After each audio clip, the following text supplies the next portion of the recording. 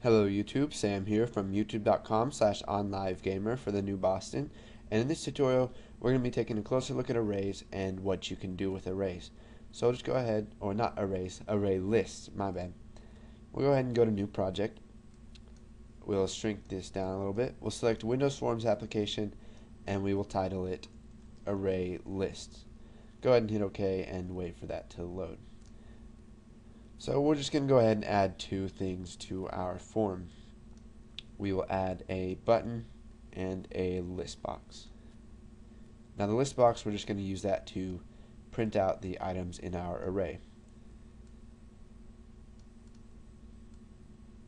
So um, in this tutorial, we're going to be focusing more on the code and not the form. So shrink that down and we'll set some names for this and then we'll be done uh, with the form. So we'll go ahead and set the name of listbox1 to list array list and we'll set the name for button 1 to button list items and we will set the text to um, display array list. Okay, so now we'll go ahead and view the code for display array list. And so we created an event that will run whenever button list items is clicked. So let's come up here and we will create an array list. So let's go ahead and type private and now we're going to have to set a name for our array list.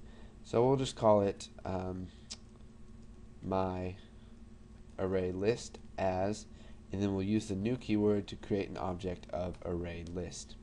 So now that we have an array list let's go ahead and add something to it.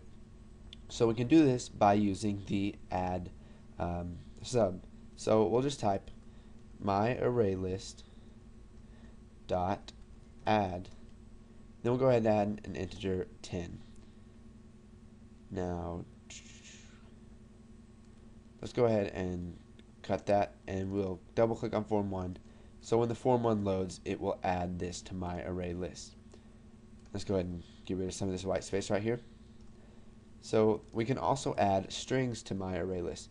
So my array list dot add hello and let's close that before we're done and then we can add uh, decimals to it too. So my array list dot add 10 point or 1.34. So if we come up here and click button list items, uh, let's go ahead and add some code that will display all this stuff in my array, my array list. So we'll just use a for each loop here. So for each item as string in my array list, go ahead and do this. Now you don't always have to use the name item, that's just what I'm using. Um, you can name it whatever you want. And we use type string in here because we're going to be converting each one of these to a string before we print it out inside of our list box and then in my array list. So we'll type list array list dot items dot add and we're going to put item dot to string. So it will convert 10 to a string, it'll convert hello to a string, which is already a string, and it'll convert 1.34 to a string. So let's go ahead and run this. And whoa there. If we click display array list, we get 10, hello, and 1.34.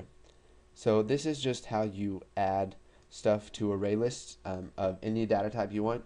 You could even do it of objects of classes, structures, um, enumerations, whatever you want you can add to your array list and ha it has no bounds. Now you can set bounds and we're going to be learning about that in the next tutorial. So um, practice a little bit with array lists and once you've got those down go ahead and move on to the next tutorial and we're going to be learning more about what you can do with array lists.